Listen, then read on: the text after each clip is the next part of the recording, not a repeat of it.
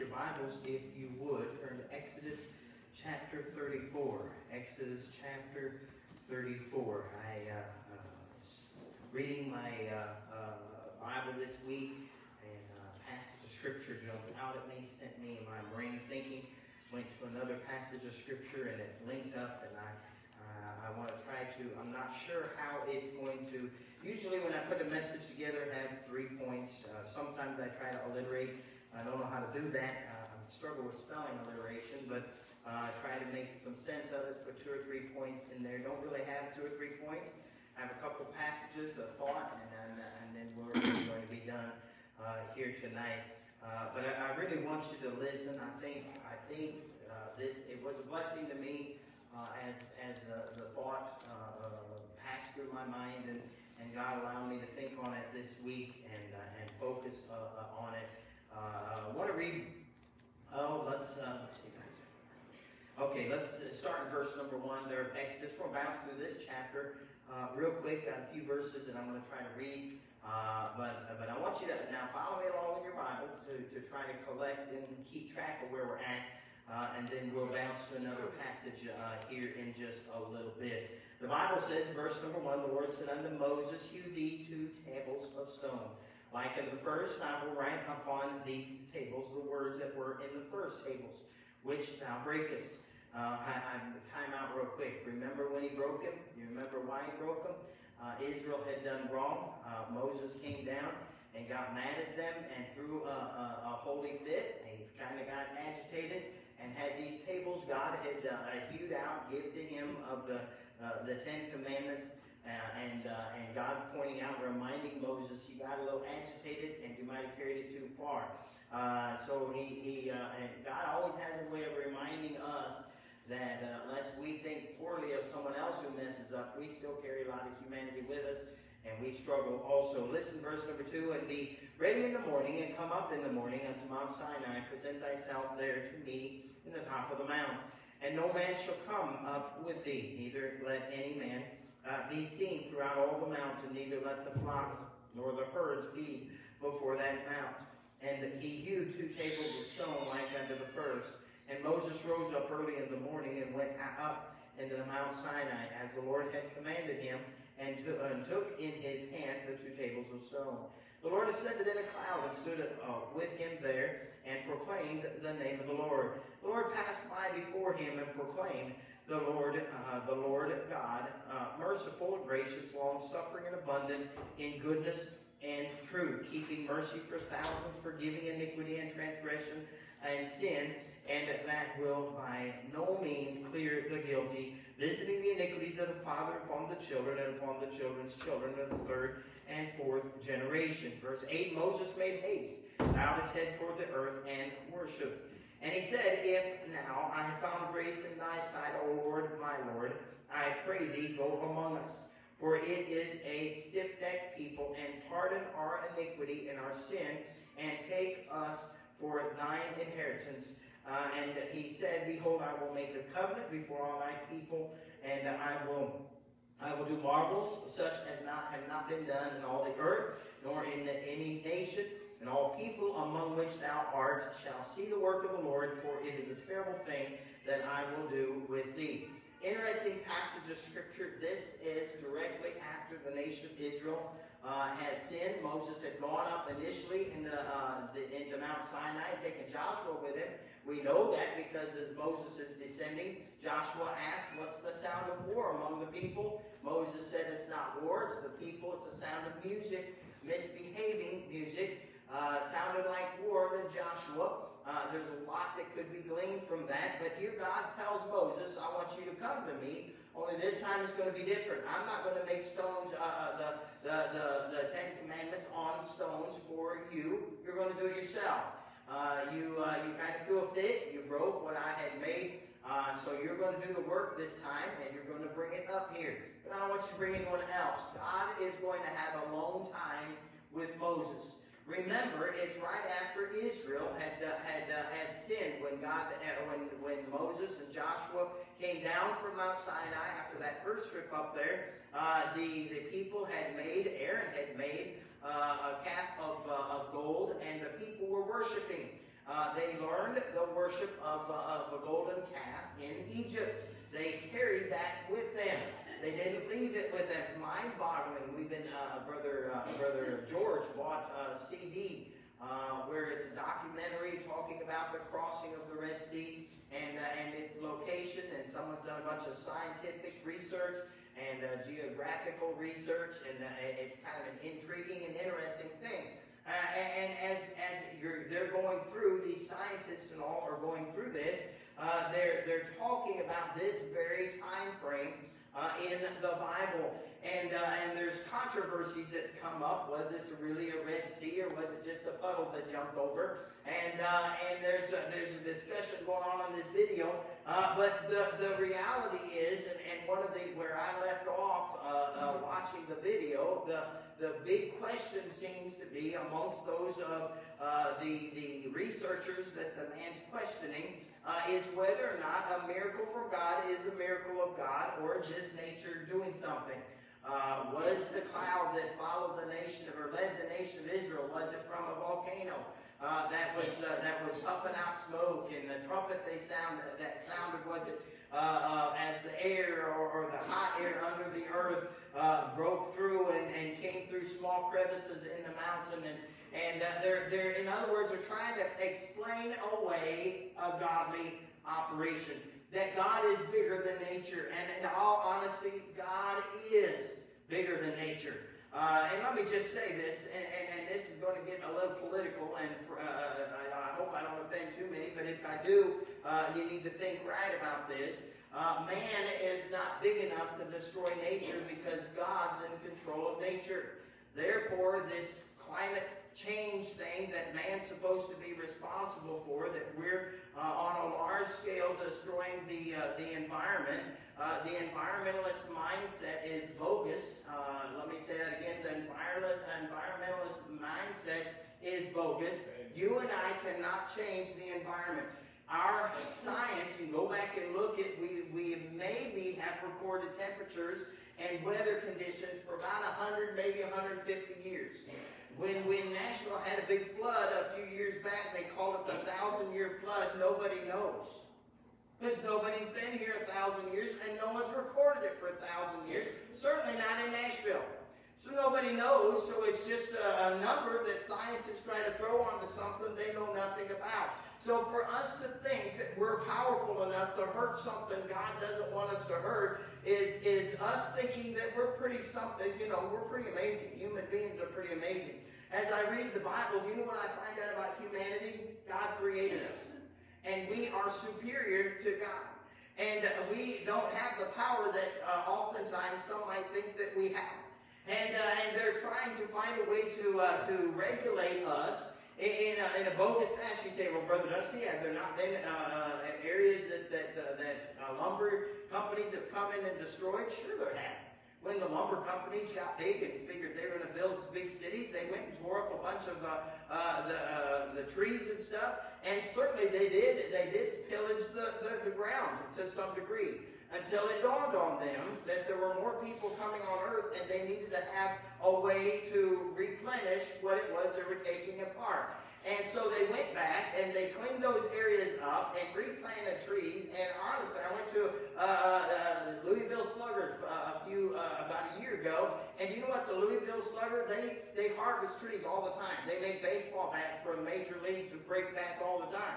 And uh, so it's a constant process, but they go through and they have these areas that they own, and they go up there and they pick and choose which trees are the good trees, use those. The bad trees they cut down, they remove any rubble so that there's no chance of a big fire in that area, and they are actually made a crop out of, uh, out of trees. And, and those people, and sure that some people, some uh, lumber uh, lumber mills have taken advantage of the situation, but most of them figured out pretty quick they're killing their own. And, uh, and uh, so they have to uh, think this thing through. And that's what we see happening over and over again in industry. So I got carried away with something I didn't want to, but God is bigger than we think he is. And here we have an incident where God, Moses is walking up into the mountain.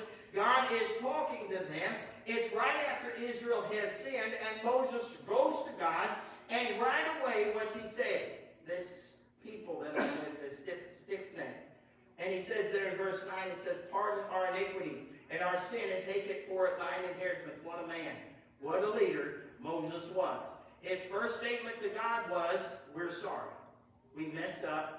Please forgive us. God said that he would and made a covenant with him. Down in verse number 27, the Bible says, The Lord said unto Moses, Write thou these words, uh, for after the tenor of these words have I made a covenant with thee and with Israel. And he was there with the Lord forty days and forty nights. He neither did eat bread nor drink water. He wrote upon the tables the words of the covenant, the Ten Commandments. Time out real quick.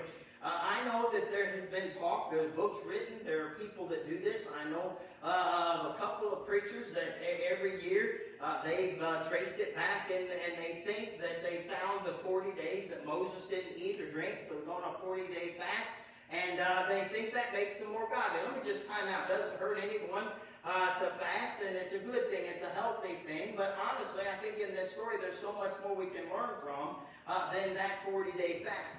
That's what I want to focus on tonight because I think Moses gleaned much more than just a 40-day fast. For if you see after that 40-day uh, fast, you'll find in verse 29, it came to pass when Moses came down from Mount Sinai with the two tables of testimony in Moses' hand, when he came down from the mount, that Moses wist not that the skin of his face shone while he talked with, uh, with him. And when Aaron and all the children of Israel saw Moses, behold, the skin of his face shone, and they were afraid to come nigh him. And if you read the passage uh, following that, you'll find that they actually put a veil over his face because his face shone. There was a visible, a, a, you say it glowed? It glowed. Why? Because he had been with God. He had been with God. I noticed that statement there, Moses wist not. Now, Moses, what did he wist not? Did he wist not? That word wist means he didn't know. Did, what, what didn't he know? Uh, he knew he'd been with God. He knew he had talked to God. What he didn't wish is he didn't know that he had uh, an effect of being with God. The effect of being with God was so great that it uh, uh, uh affected those around him. People around him said, man, you're, you're blinding us because your face is little. Could you imagine that? But the mind-boggling thing is Moses didn't know it. Why?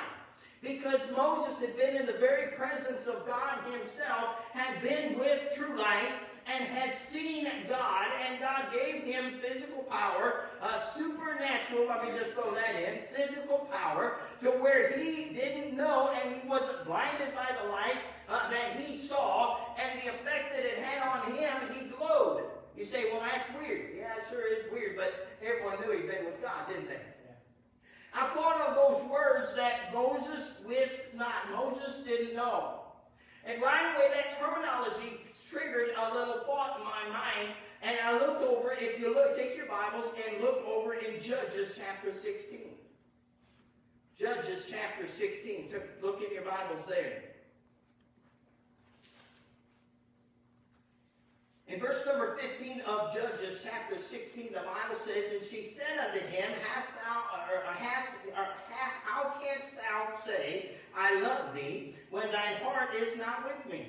Thou hast mocked me these three times, and hast not told me wherein thy great strength lieth. We're talking about Samson here. In verse 16, And it came to pass when she pressed him, the she being Delilah, when she pressed him daily with her words, and argued uh, and urged him, so that his soul was vexed unto death, that he told her all his heart. And said unto her, There is not come a razor upon mine head, for I have been a Nazarite unto God from my mother's womb. If I be shaven, then my strength will go from me, and I will become, and I shall become weak, and be like any other man.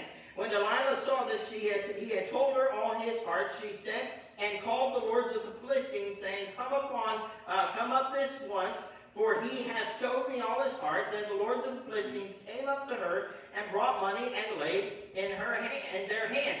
And she made him sleep upon her knees, and she called for a man, and she caused him to shave off the seven locks of his head, and she began to afflict him, and his strength went from him. Notice verse 20. And she said, uh, The Philistines be upon thee, Samson. But Samson awoke out of his sleep and said, I will, I will go out as at other times and shake myself. And notice this is the last phrase here, and he wist not that the Lord had departed from him. He didn't know God was no longer with him. You say God gave him strength because of his hair. No, God gave him strength because Samson had dedicated himself to the Lord. And to the degree that Samson dedicated himself to the Lord, God used him. Now, Samson's one of the most puzzling uh, prophets in the Bible. One of the most puzzling uh, judges, I guess a better word than prophet, uh, for Samson. Uh, Samson struggled with doing right. Samson struggled with doing things how he's supposed to. It's interesting, though, God used his misbehavior uh, as, a, as a method to afflict or torture the, uh, the Philistines. And, and God used that. But what's frustrating to me as I read this passage of Scripture, you have two instances where two men of God, used by God, in powerful ways, wist not something. They didn't know something was up. Moses did not know that his face glowed enough to where he was annoying people. Samson didn't know his strength was gone. Moses didn't realize that being with God had such an effect upon him physically that it affected the, those round about him. Samson had no idea that the power of God had been stripped away from him because he wasn't connected with God like he was supposed to be. Do you not see an issue here? I think, and, and what's concerned me as this COVID thing has, has ravished our, our nation and, and, and honestly has hurt and hindered the work of the Lord, in my opinion, in many areas. We now are afraid to come to church. We'll go to other places, but not the church house. You say, what's wrong with that? God wants us to come to church, forsaking not the assembling of yourselves together. Well, shouldn't we be saved? Yes, we should be saved. So what should we do? I don't know. I really don't. I don't have a great answer for you. But what I, what I am going to say is during this time where we're having to hunker down, during this time where we have to be uh, uh, in, in our homes and in some cases have to be away from what we're supposed to be away from, my fear is that we're going to be like Samson and we're not going to know God's not with us because when we're having church here, we're putting on Facebook and we do everything else that comes in our mind at the house and we're not focused on God.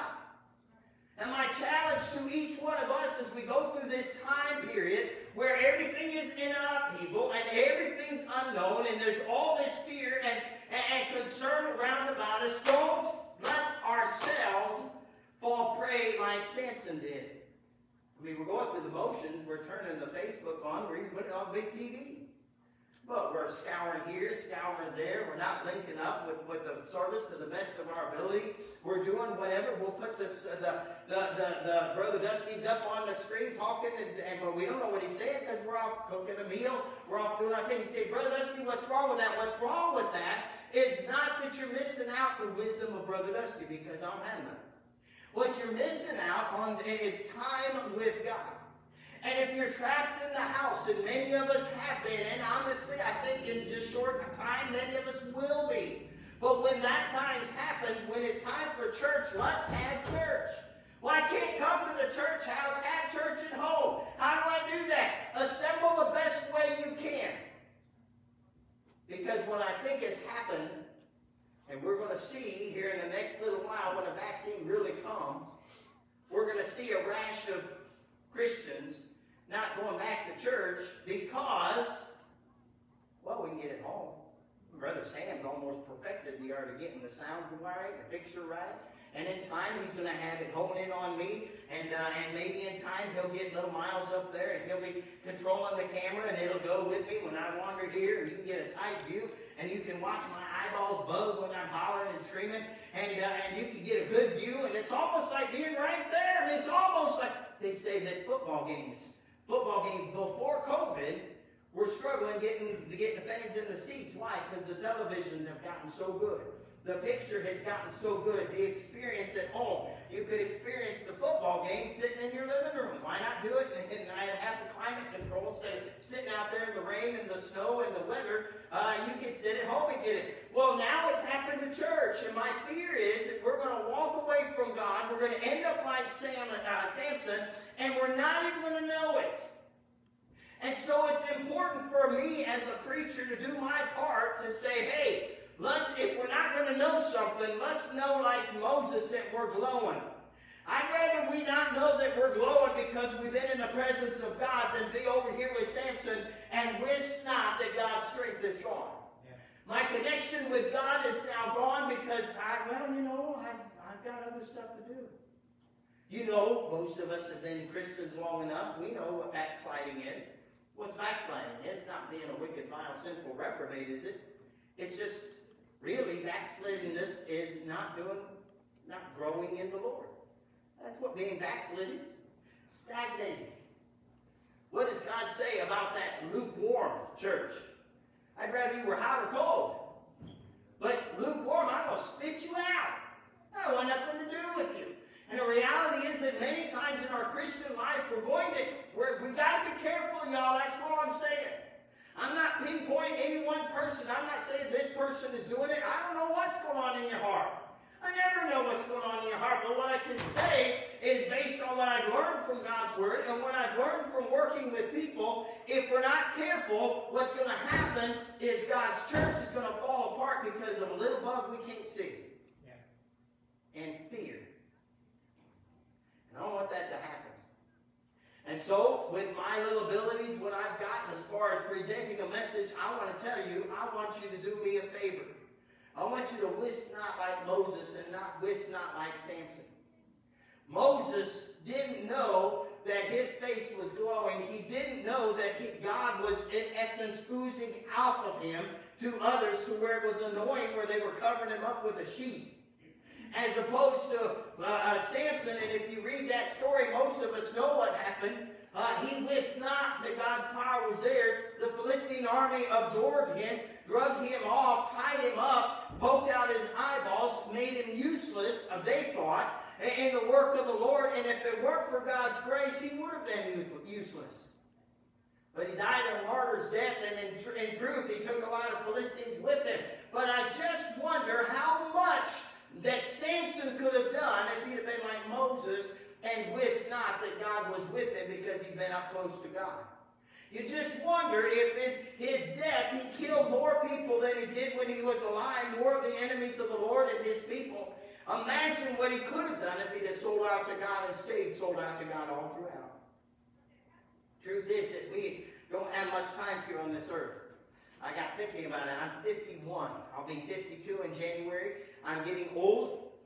Every time I look in the mirror, there's some other evidence of getting old.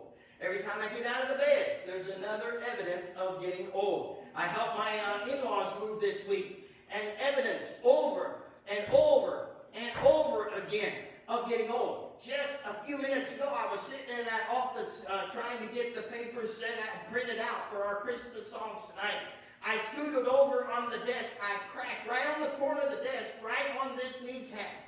It shuddered throughout my whole being because about a year and a half, two years ago, or whatever it was, I broke that kneecap. And it hurts.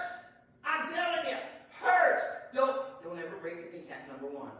If you happen to break your kneecap, don't ever bonk your kneecap on anything. It hurts really, really bad. And, uh, and, and, but over and over again, I have these evidences of my age. I, I was I was helping uh, Joe when uh, when he was here with the girls, and uh, and we were che- checked the oil, and I pulled the dipstick out of the oil of Nettie's car, and I checked the oil, and I went to put it back in the dipstick, and you know what happened? Somebody grabbed hold of that, that, car and wiggled it like this. Because here I'm trying to find this hole, and now all of a sudden my hand's going like this as I'm trying to find the stupid hole. I'm 50, y'all. I shouldn't have that squibber thing going on. Where'd that come from? I grabbed my hand with my other hand and I lined it up real good and I put it right in there and then I looked over at Joe. And I said, dude, there are evidences of getting old. That's one of them. Things that used to be steady. Uh, Brother Randy said something the other day when I had cut a, a line on that. We said, man, you got steady hand. Not when I'm putting the dipstick back in the oil. I, I don't there. Uh, maybe holding that machine, but not the other. The truth is, we're getting old. We don't have much time left here. If God gives me to 70, which is three score year and ten, correct? I, I'm almost done. I'm almost done. I don't have much time left to influence. I don't have much time to do work for the Lord. And honestly, if we're not careful, during this time of question mark in our society and in our world today. We will dwindle and wander away from the area Moses was in, where he just had a close, connected conversation with God. And he didn't know the effect of that conversation was uh, and did have an effect on everyone around him. And yet you have a man over here that had the power of God on him. And had it stripped away just because he did everything he wanted to do. And he didn't want to walk the way God wanted him to walk. And he slipped off. And he didn't even know God's presence wasn't there. I wonder if we could go back and question Moses. If we could have an interview with Moses and sit him down and say, Moses, what was it like when you came down? And, and, and you're talking to people and they're covering your face because of the veil. Uh, what was that like? And he, I don't know. I, I don't know what they were seeing. He said, I, I just remember I had been with God and I never felt such a wonderful feeling in all my life. And I never knew that you could get that kind of relationship with God. And man, I was just so excited and happy and, and glorifying God in my heart. And, and I guess my skin showed it. I don't know. And then you go and interview Samson as he's being carted into being paraded in front of all the Philistines being tied up and mocked in front of them as they mistreated and abused him right there. And we interviewed him. Jason, what happened? I, I, I don't know, man. I was I, I thought it was doing good. Every time I went to move the gates of the city, I picked them up, moved them. I, I, I needed to kill some Philistines. They were irritating uh, God, irritating me, and I grabbed the, the uh, donkey's jawbone and I killed thousands of people with the donkey's jawbone. I don't know what happened, but I, I let I let something slip, and one thing led to another, and another, and lo and behold, I, I'm laying on Delilah's lap. She said, "The Philistines are upon me." I got up as another time, went to defeat them. I didn't even know God's presence wasn't there. And if you read Samson's prayer at the end of his life, he basically says, God, I messed up. I wished I but Messed up. If you'll give me the strength this one last time, I'll try to do work for you. It's the last work I'm going to get to do. I'm only living about a third of the life that Moses lived, but I'm going to try to serve this last few moments for you. I didn't know you were there, God. I didn't know it. I lost track. Oh, my friends, tonight, let me remind you, let's be careful what we let slip. Let's be careful during this COVID era not to let everything slip. How am I going to do that, Brother Dusty? Read your Bible. Did you read your Bible before COVID came? Read it now. In fact, let me encourage you, Facebook peoples, listen up. You need this. You need this. This may be all you hear, and I want you to hear it good and clear from a preacher that cares and has a heart for you. I want you to hear it. Read your Bible more now than you ever have before. Increase your Bible reading. Pray more. Uh, word, get more into the Word of God. Get rid of the worldly music. Focus on God. Keep your mind on the things of God because my fear is that if you get away from church, you get away from that weekly reminder I got to keep God as part of my life, you're not even going to know when the thoughts and the devil and the world has slipped in and caused you to lose touch with God. And those of you that are here tonight, let me encourage all of us, myself included. Let's not go get, get lax. This isn't the time for Christians to get lax, stand back, get frustrated. I listened yesterday. Some may have offense with the problem with this. I don't care. I listened yesterday to the president, his meeting down in Georgia. I've heard President Trump, many of his speeches. I've heard him, honestly, he's not the greatest speech writer. He's not. He's not the best at, at, at motivating. He's not. He's just not. He's fun. He's fun to listen to. Sarcastic. I like that. I listened to him. I listened right to the end of the speech and listened to all, and it was long. But he got to the last few minutes, and I encouraged the folk in Sunday school this morning. I encourage you, those of you on Facebook, I want you to do me a favor. I want you to go out and find that video of him making that speech. If you fast forward it to just after the two, the two the candidates for Senate uh, speak to him, or speak, uh, uh, he lets them speak for a moment. And as they, as they get out of the way, and he goes over to the podium, he begins talking.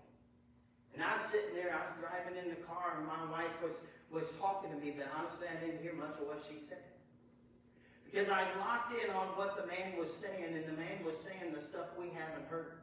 And he was saying, I'm not giving up. I'm doing what's right, and I believe in my heart I'm doing what's right for America, what's right before God, and what's right before American people. And I'm going to fight all the way to the end. We haven't heard that stuff. Y'all, we haven't heard that stuff.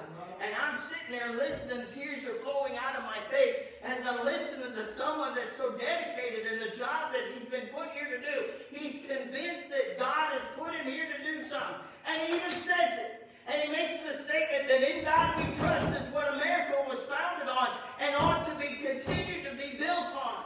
He said that. My friends, I sat there and listened to the guy. He said, hey folks, it's time for us to vote. Yeah, there may have been fraud, but don't lose sight. We got to keep on going. We got to keep on working. We got to keep on doing what's right. And my friends, tonight I want to remind you as Christians, we got to keep on going. We got to keep on fighting. We got to keep on doing what's right because the world is watching us. If ever they watched Christians before, it's now. And it's high time we quit being all frustrated and scared of our own shadow. Yeah. And realize we're trusting in the God that made of COVID. Yeah, He made COVID. Nothing gets past Him. He wasn't shocked with what happened in China. Not one bit. We were. God knows what He's doing. I don't understand what He's doing. You may not understand what He's doing. But we got to trust that He knows what He's doing. And my friend, this is a time I'm afraid Christianity has taken a back seat and we need to be right in front. Then when the problems of life happen, where do I go? Go God. Listen, tonight, I just want to remind you, keep going to God. Don't end up like Samson. I want us to be like Moses. what don't you know? I don't know. The glory of God might be oozing off of me. I hope it is. I'm trying to get my Bible more. I'm trying to read more. I'm trying to pray more. I'm trying to stay closer to God. If we're not careful, we'll end up over here with Samson. I'm not real sure how it happened, but I kind of just got away from God. I got so far away from God, I didn't even know that He wasn't there. Our Heavenly Father. I didn't really have any points, just a thought. Lord, my fear is that we as Christians, as your people, are allowing ourselves to get so beat up that we're becoming, if we're not careful, more like Samson than like Moses.